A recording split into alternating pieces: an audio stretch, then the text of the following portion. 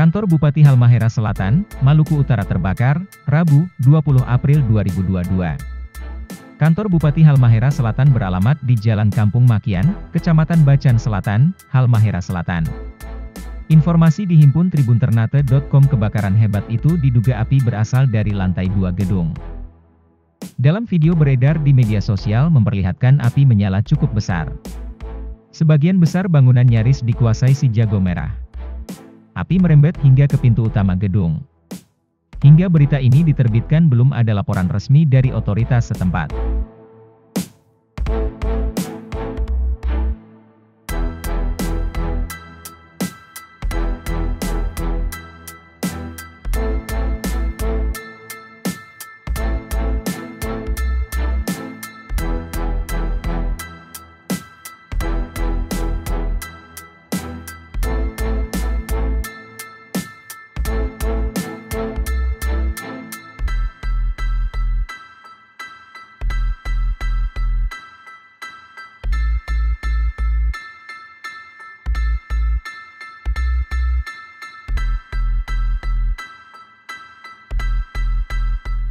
Terima kasih sudah nonton.